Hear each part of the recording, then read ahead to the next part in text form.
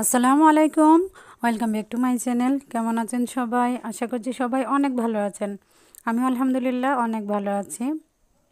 আজ আমি বোরের আচার বানাবো, তাই আমার ব্লগে আমি শেয়ার করছি। যদি ভালো লাগে অবশ্যই আপনারা এভাবে বাসায় ট্রাই করবেন।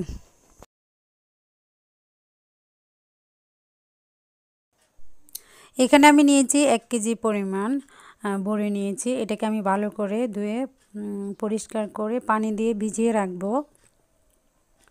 আমি প্রায় আট ঘণ্টার জন্য এটাকে আমি ভিজিয়ে রাখব। একবারে নরম হয়ে যাবে।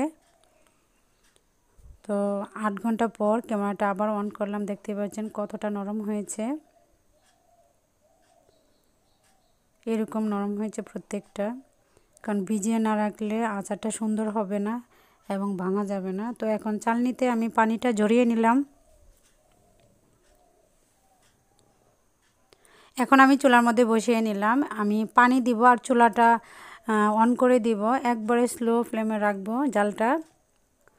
পানিটা গরম হবে আর এই দিক দিয়ে আমি আস্তে আস্তে বড়িটা ভেঙে নিব। এখানে আমি আড়াইশো গ্রামের মতো পানি দিয়েছি। এখন আস্তে আস্তে বড়িগুলিকে আমি ভেঙে নিব। পানিটা গরম হবে আর বড়িটা এভাবে ভেঙে নিব তবে বাংতে সুবিধা হবে আর কি। আপনারা চাইলে হাতেও ভেঙে নিতে পারেন।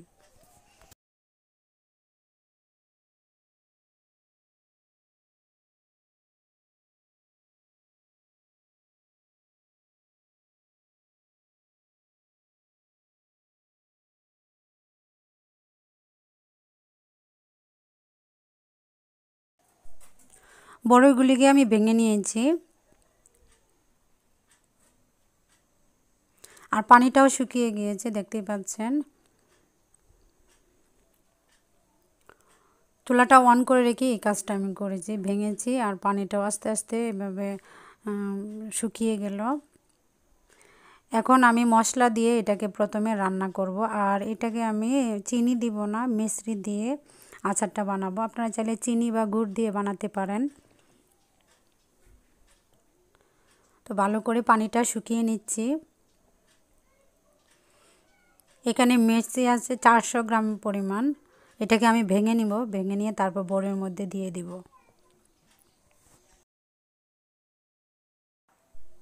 তো মির্চিটা আমি ভেঙে নিয়েছি, এখন আমি বোরের মধ্যে দিয়ে দিলাম।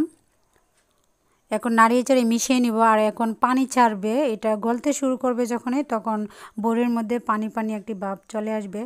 তো কোনো সমস্যা নেই, জাল দিয়ে ভালো করে শুকিয়ে নিব। এখন আমি এটার মধ্যে মশলা দিয়ে নেব।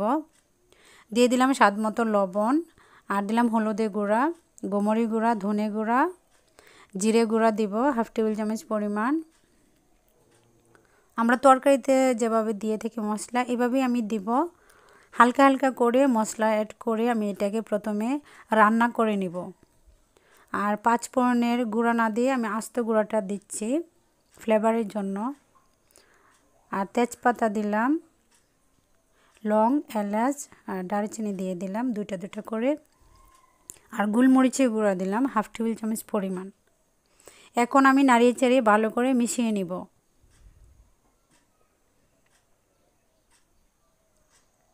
আর এটা হচ্ছে তেঁতুলের টক। তেঁতুলের রস আমি ভিজিয়ে রেখেছিলাম। এই রসটা আমি দিয়ে নিচ্ছি। একটু আঠালো ভাব আসার জন্য। এটার পরিবর্তে আপনারা ভিনেগারও দিলেও চলবে। তবে এটা দিলে কালারটাও সুন্দর আসে এবং ঘনত্বটাও ভালো দেখা যায়, দেখতেও ভালো দেখা যায়, খেতেও অনেক টেস্ট বেড়ে যায়।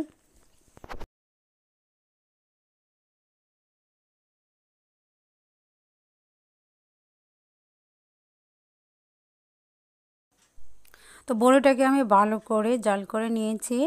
এখন আমি বাগার দিয়ে নিব, সেই জন্য আমি একটি কড়াই বসিয়ে নিলাম। আর এখানে দিয়ে দিলাম আমি হাফ কাপ পরিমাণ সরিষার তেল।